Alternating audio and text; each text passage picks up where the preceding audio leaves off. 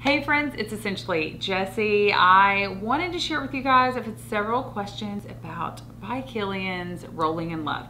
And I wanted to let you guys know where I'm at on this, what's, you know, the notes, is it worth it, is it worth the money, all of those things.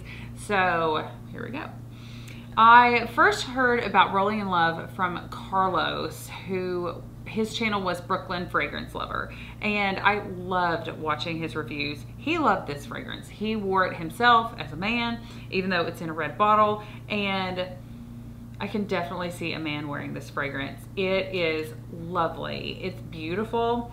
It is a floral almond fragrance. Um, the top notes are almond milk and ambrette, like musk mallow.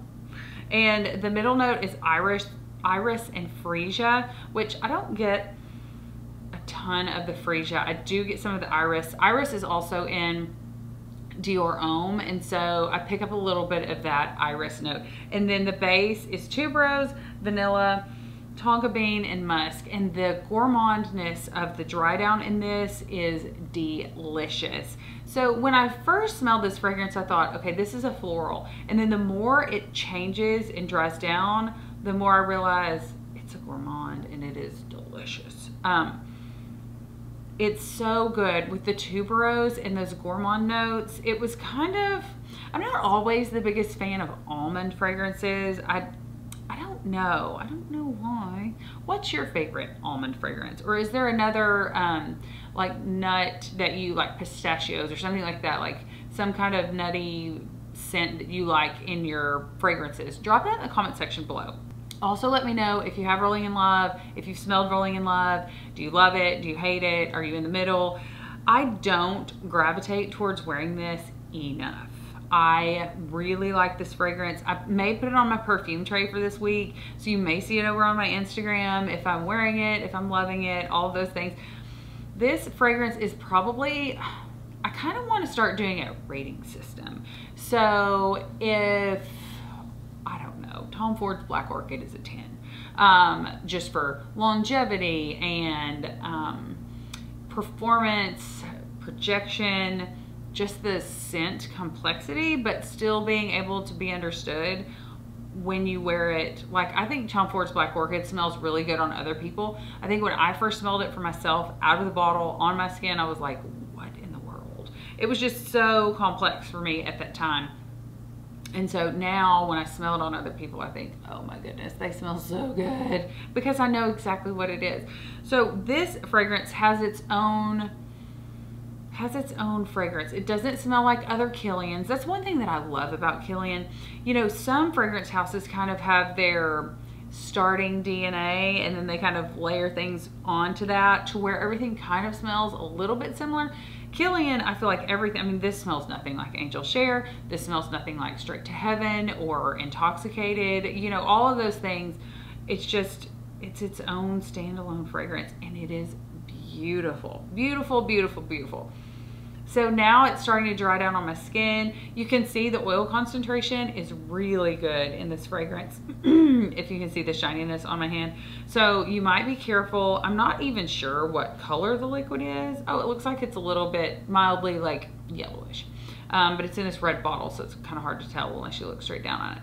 But you might be careful spraying this on your clothing. Rolling in Love is obviously very oily, has high oil content, so you wouldn't want to ruin like a white shirt with it. But it's completely unisex. Let me show you guys the bottle. It's beautiful. I love how they made it red and it's called Rolling in Love. I just, I think that it is really stunning. I love the sides of the bottles for all the Kilian fragrances.